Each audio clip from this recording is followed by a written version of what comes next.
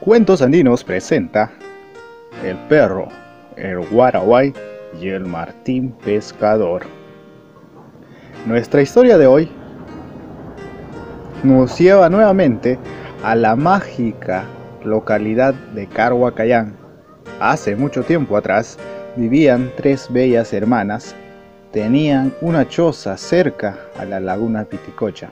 Cada día Dos de las tres hermanas se turnaban a salir al campo a pastar sus ovejas y una vez cuando las hermanas menores fueron cerca a las laderas de Telarniego, Antuca, la grácil hermana mayor de espíritu rebelde y muy cariñosa, en casa preparaba un suculento chulu picante y desde fuera el viento crujía mientras que el ichu golpeaba mordaz sobre la vieja pared de piedras de su antiquísima choza. Entre el sonido aturdidor del frío serrano se oye el susurro varonil de un desconocido afuera. Antuca inmediatamente sale a la puerta de la choza. ¡Y Manuela, vecina!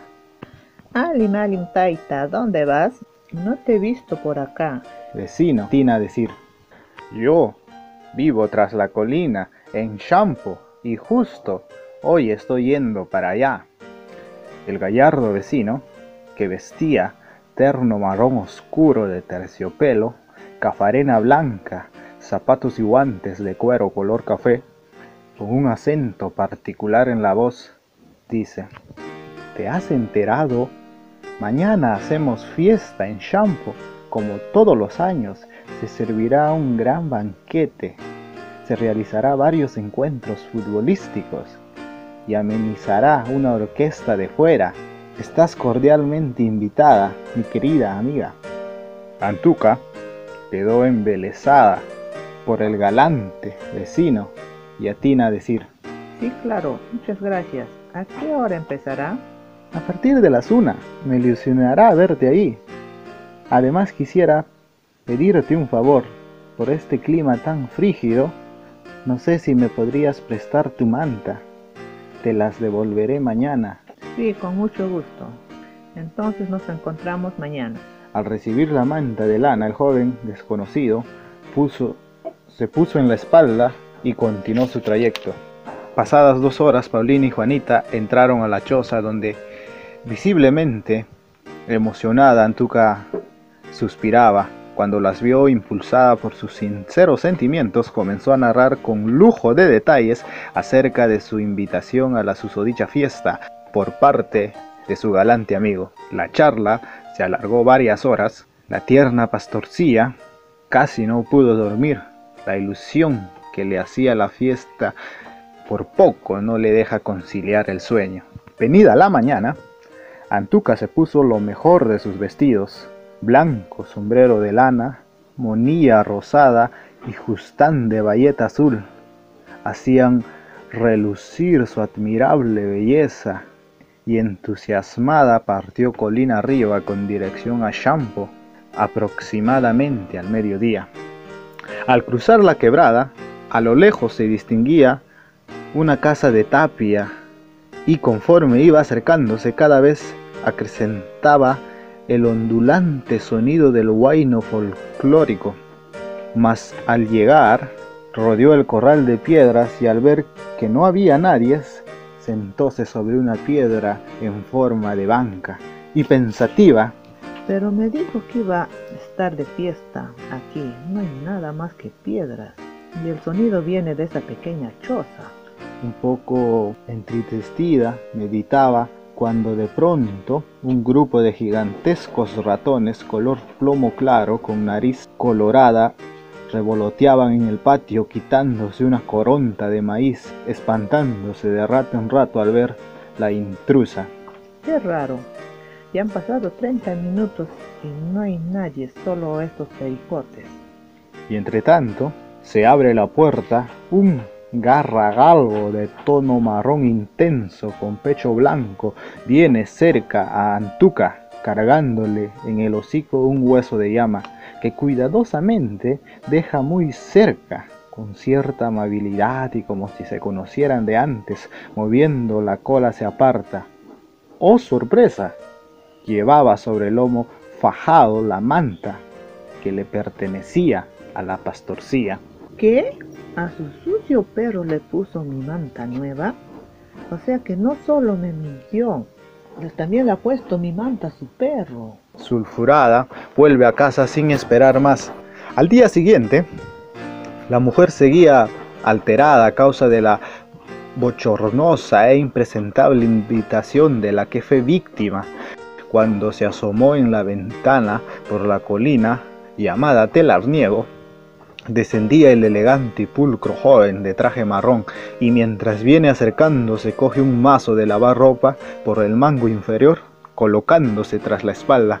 Entonces ingresa su reciente amigo. Y Manuel, la vecinita, te traigo tu manta.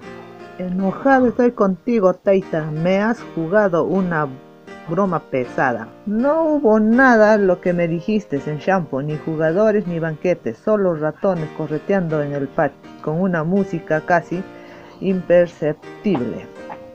A ti ni siquiera te vi. ¿Cómo?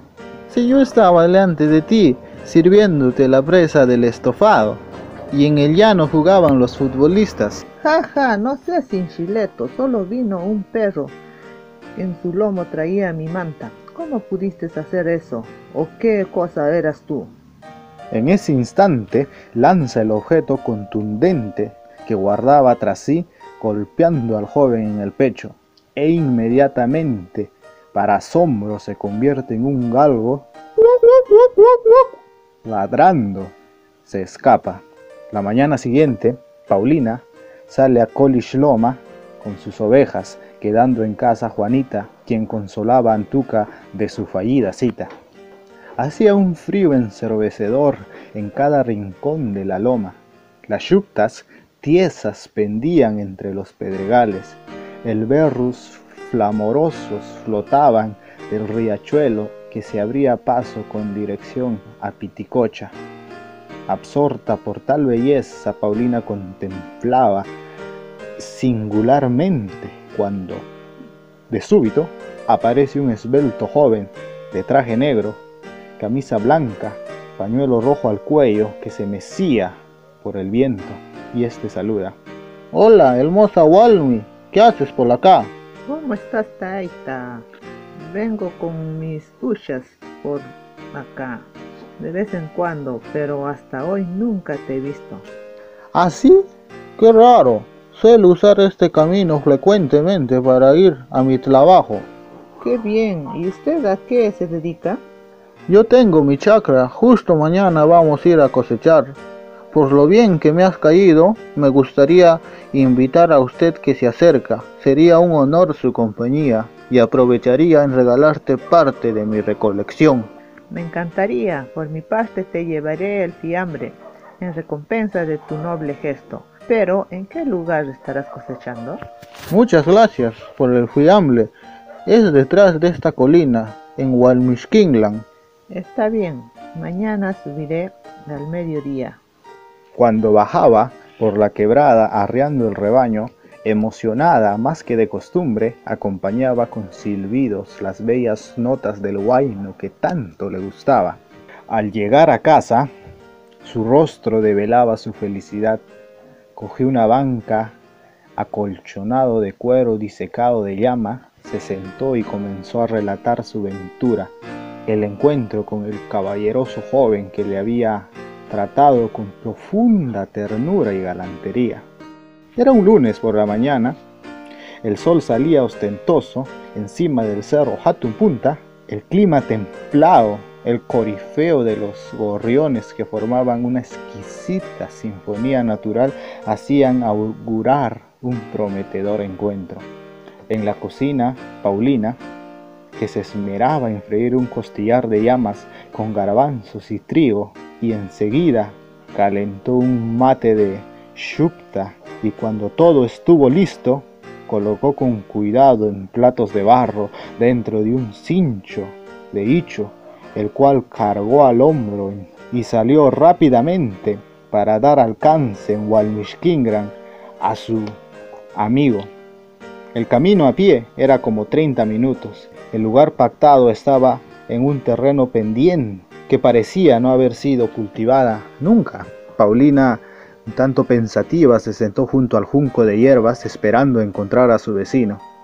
Así pasaban largos minutos, por ningún lado se miraba la figura del camarada, solo un guaraguay, que es un gavilán, metros más adelante, picoteaba estiércol de vaca con sus garras, escarbaba y volvía a picar. Impaciente y desencantada después de un rato, regresa a casa.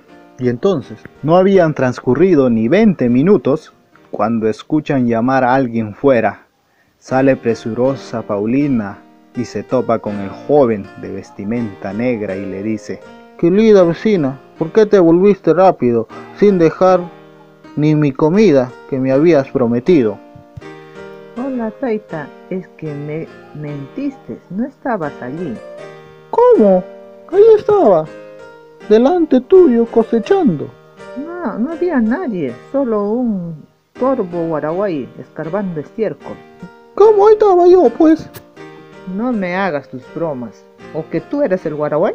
Y para sorpresa, inmediatamente le coge el cuello, el apuesto joven se convierte en animal ¡Oh!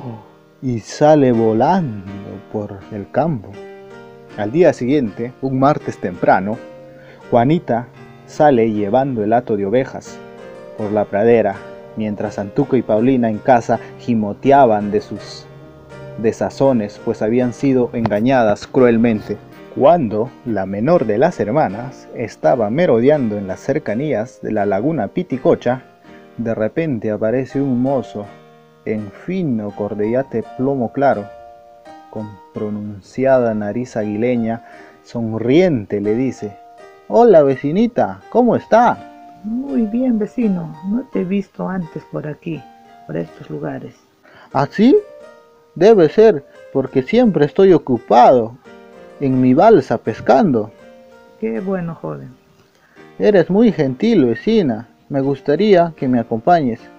Pero, eso sí, yo trabajo por las noches cuando hay más truchas. Me gustaría mucho. Entonces, ¿a dónde voy? ¿Conoces Yanacocha? Bueno, está muy cerca. Yo pesco mucho allí.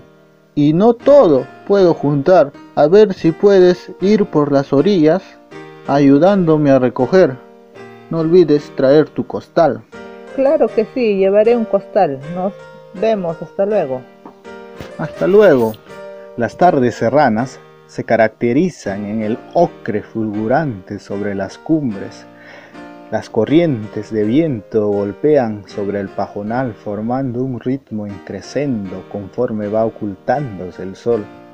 Juanita alistó un costal de bayeta, un farol a querosene antiguo y un pañolón para el frío, y enseguida salió a su travesía en busca de Yanacocha.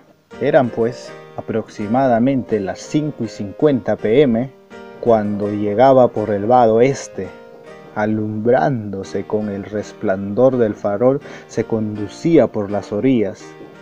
En efecto, centímetros adelante se veía truchas muertas a medio masticar. Su cantidad eran muchas, mas todas estaban perforadas.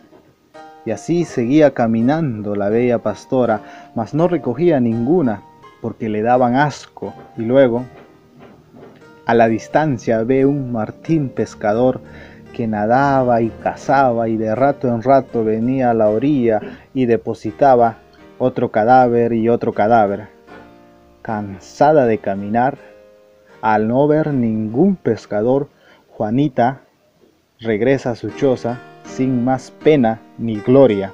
Venida la mañana, a las 10 aproximadamente, se escucha llamar de fuera y era el joven apuesto caballero de cordellate plomo y que atina a decir, ¿por qué te volviste sin recoger los pescados? ¿Qué pescado? Solo había sobras de Martín Pescador. ¿Dónde estabas tú? ¿Cómo? Ahí estaba yo, pues. ¿Acaso no me viste? ¿Qué entonces que eras tú un Martín Pescador?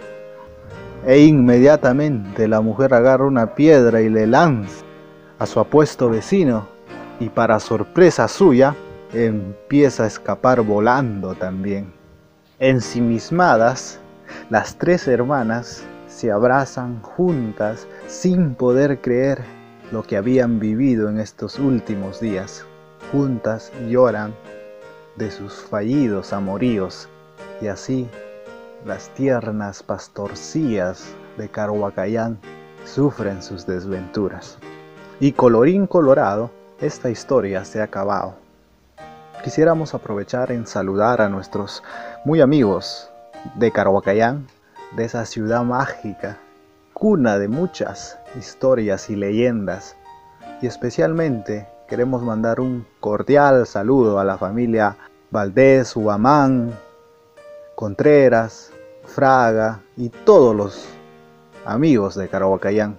Y también no queremos pasar en alto el comentario tan divertido que nos hiciera John Contreras, para quien le alcanzamos un saludo muy especial. Sin nada más que añadir, me despido.